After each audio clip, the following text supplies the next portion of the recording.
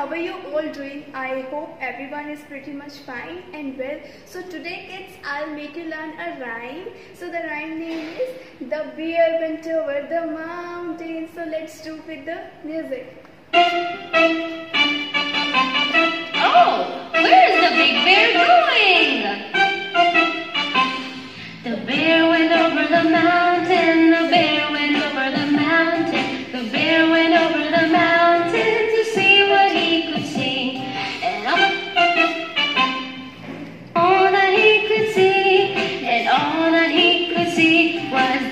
other side of the mountain, the other side of the mountain, the other side of the mountain was all that he could see. Keep the with directions and stay home, stay safe. Thank you.